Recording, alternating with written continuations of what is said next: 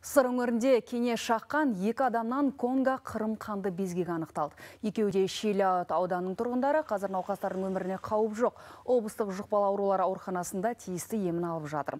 Биыл облыста кене шағу деректері көбейген тұрғындардың дер кезінде дәрігерлерге жүгінуінің арқасында өлім жытым жағдайлары тіркелген жоқ дейді мамандар. Жалпы аймақта 113 елді мекен қауіпті зиянкестердің ошағы саналады. Осы жылы өңірдің оңтүстік аудандарында кенеге қарсы заластандыру жұмыстары аяқталуға жақын эпидемиологтар конго қырым қанды безгегіне қарсы дәрі дәрмек қоры жеткілікті деп отыр. Басынан ақ уже табиғатқа ірі имаго дейміз ересек кенелердің шығып кеткенін барлау жұмыстары барысында біздің энтомолог мамандарымыз жаңа анықтап отыр. Былтырғы жылы кенелердің зақымдалу көрсеткіші бірде жеті пайызды құраған болса облыста биылғы жылы бұл көрсеткіш бесте төрт пайызды құрап отыр.